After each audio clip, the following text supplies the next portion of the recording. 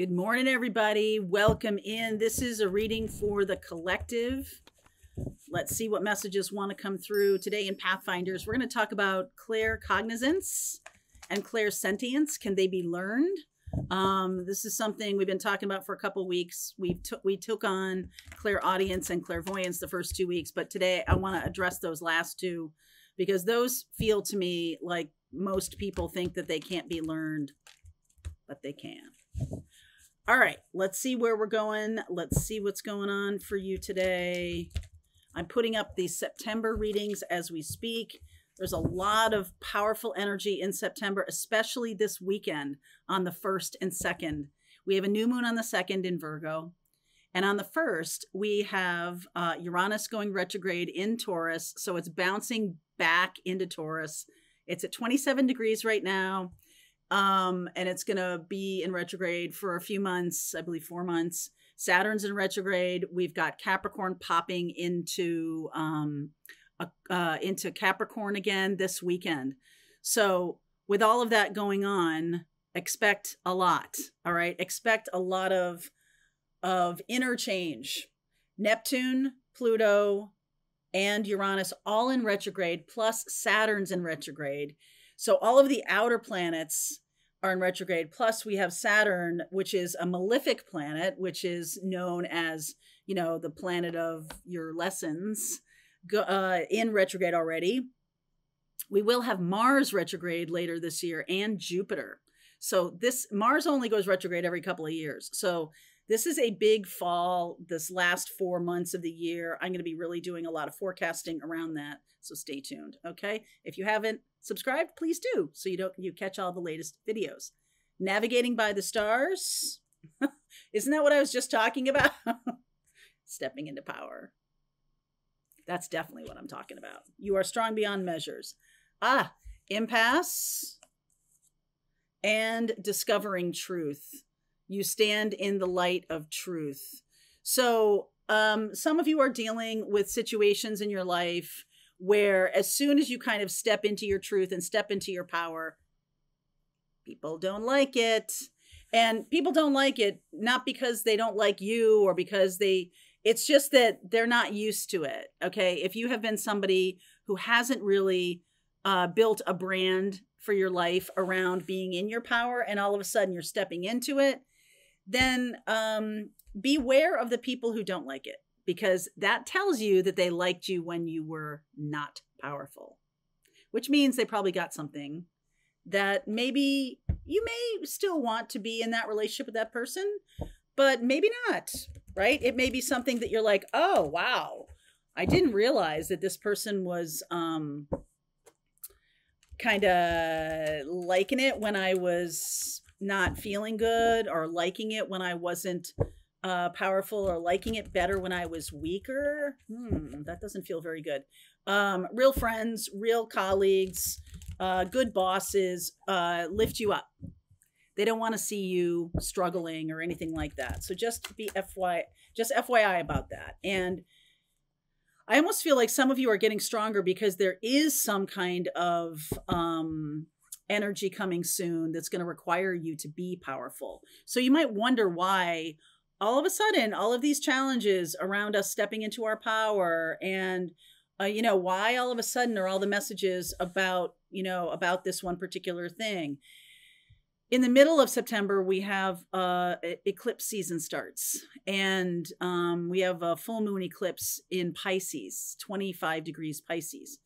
So, what does that mean? It means that there's an activation energy. Eclipses are activation energy in our spiritual sector. That's Pisces. Pisces is a little hard to put your arms around. It's very, it's very much the connection to the divine each person can experience Pisces differently.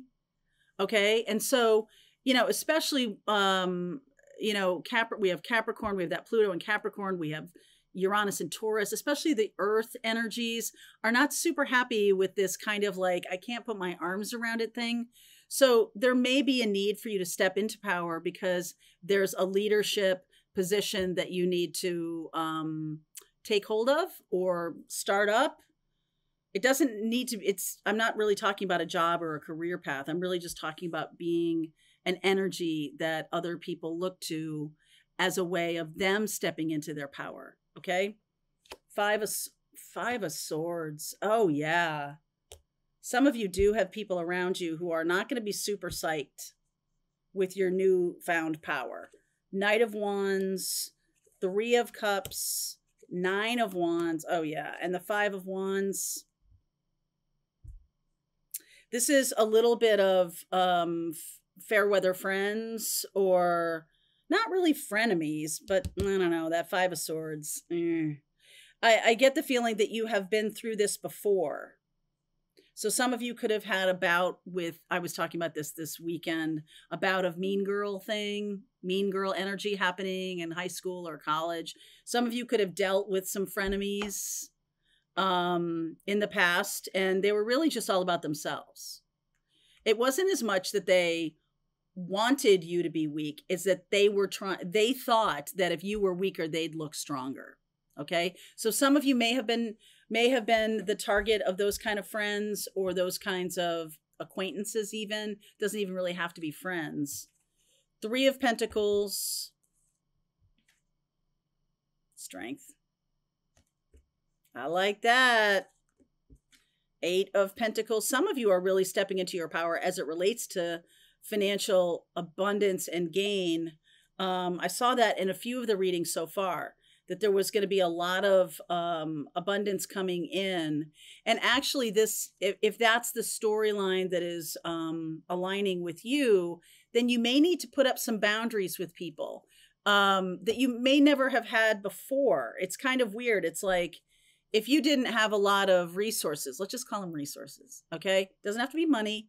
It can be access to power. It can be power in yourself.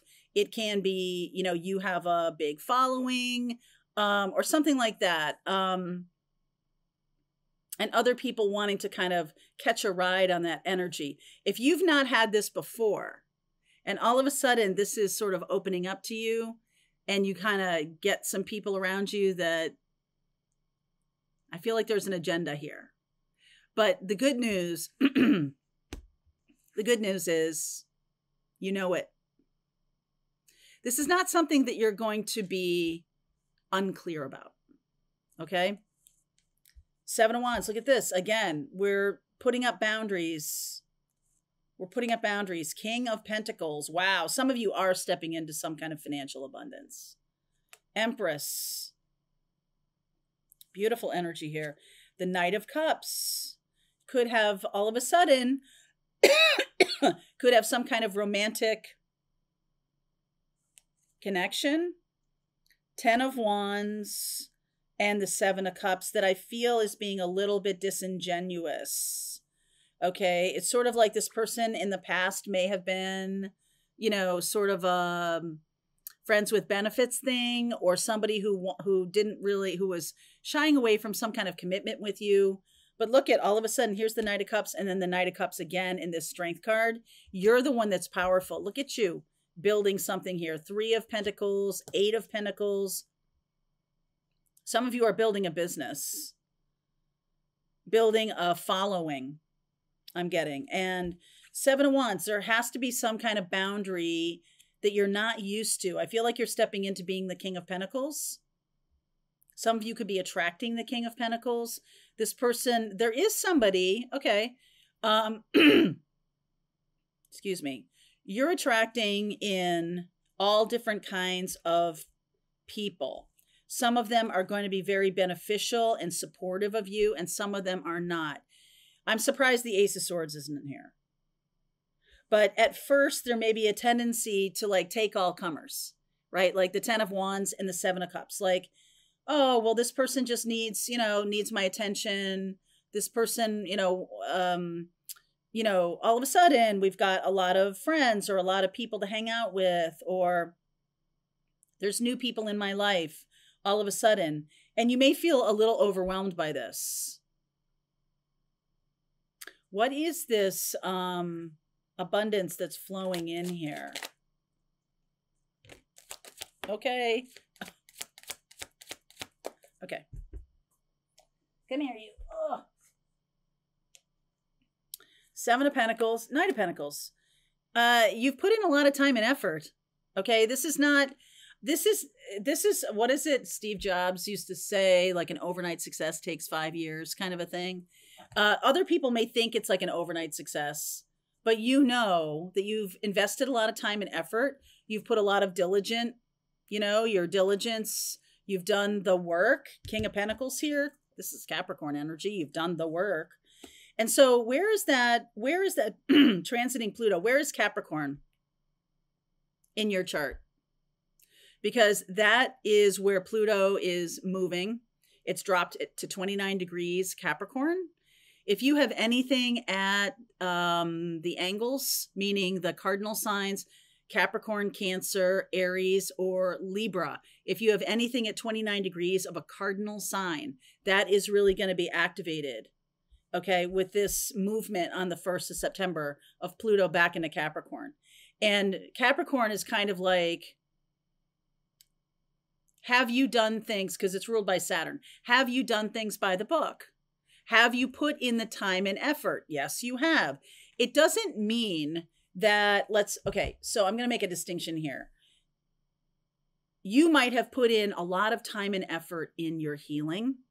You might have put a lot of time and effort in your um, ability to see people more clearly and manage your trust manage your trust issues whatever they are. I trust everybody or i trust no one. Either you know either those extremes i feel like you're kind of working on that some of you are really healing old patterns and saturn is going to validate that so Saturn isn't all bad, right? Saturn, when Saturn, like, it's sort of like the teacher coming back from leave or coming back from vacation or coming back from wherever they're coming back from. Maybe they had a baby, something like that. And you have kind of stepped into, you know, being in charge of the class, or you've kind of stepped into being someone who made sure that the sub got respect or got, you know, support or something like that so that the lessons could keep going. There's a lot, there's some kind of gifty here. Whenever you do the path of Saturn, whenever you are, if Saturn's in retrograde right now in Pisces, so don't get confused. Pluto is moving into Capricorn, ruled by Saturn. And then there's a separate planet. Saturn is also transiting. Saturn's transiting in Pisces. This is making me feel like you have done the work because of this this Knight of Pentacles and this Seven of Pentacles. Knight of Pentacles is very trustworthy energy. It's Virgo energy. Seven of Pentacles. I invest my time and energy. Sorry. I invest my time and energy. And there's a one there's one more pattern here.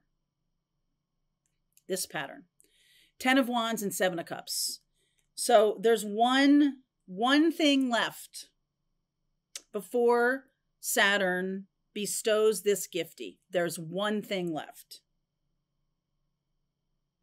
What is that? There's one test left codependence, lack of clarity, not stepping into your power. What, I mean, what is it? In like one sector, maybe you stepped into power in all the other sectors of your life.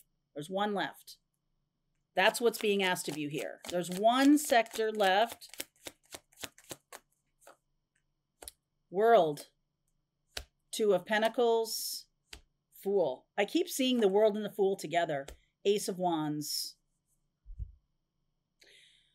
Whatever it is for you, there's one sector left, and I feel like you're going back and forth between the ending and a new beginning. You keep stopping things and saying, okay, this is it for me. I'm stepping into a new beginning. And then you go back. You keep going back. You keep going back. Okay. And it's time for it to be over. Ace of Wands. We have the Ten of Wands here. Like, it's almost like you're not seeing it. It's almost like you're not seeing it. Which part of your life you keep going back to, you keep going back to. And it's like Lucy with the football because there's something new that wants to come in. This Ace of Wands. For some of you, this could be a love relationship. For some of you, this could be dealing with money. For some of you, it could be dealing with debt and credit and investments not just having money, not just having enough money, but what do you do with it? Because Three of Pentacles and Eight of Pentacles says to me that you, and Seven of Pentacles says you are learning or have learned to invest your time and energy and finances wisely. King of Pentacles being here. So what is it? Is it love that's keeping you is it it could just be the trust of people, being learning how to trust people. There is one more test. One more test. All right. So let me let me clarify this King of Pentacles here because I do feel like there's financial abundance. There's a lot of pentacles in this reading. So and that could be the gifty from Saturn. You know, it doesn't have to be in that same part of your life. Usually it is. Usually when Saturn bestows a gifty for job well done, it's a direct it's a direct connection. All right, it's a direct connection. But let me see what this King of Pentacles is. Five of Cups, Emperor. Oh! Two of Swords. Four of Cups. You have not wanted to step into power. There, this is the one test. You have not wanted to step into power because Emperor and Empress, this is an upgrade. King of Pentacles is getting an upgrade to Emperor. So you may be king energy, but because what makes an emperor, uh, the emperor is all the kings, right? The emperor is all the kings. So I feel like there's been loss, real loss. Like you let something go, even though you didn't want to, instead of stepping back into it, right? There's been real loss. Here's the emperor. This is what we're upgrading to. There's been internal growth, right? Stepping into power. And there's been um the seven of wands i kind of like this right now because this makes me feel like you did not settle. You didn't settle. And that's exactly what saturn is going to give you a gifty about. That's what you're going to get um knighted for or that's what you're going to get your um elevation here for from. You're going to get promoted here into full emperor and then we have the empress here. You've done your work. All right, let's keep going. Let's see where this goes. I'm going to look at what you don't see coming. Let's look at the next 30 days. And uh, you've earned it. Okay, you've earned it. Link is below if you want to continue on. Pathfinders, let's just keep going. All right, I hope you enjoyed that video. If it was helpful to you, please consider liking this video and sharing it with anybody who might have a need for similar kind of information. And if you like this video, check out these videos.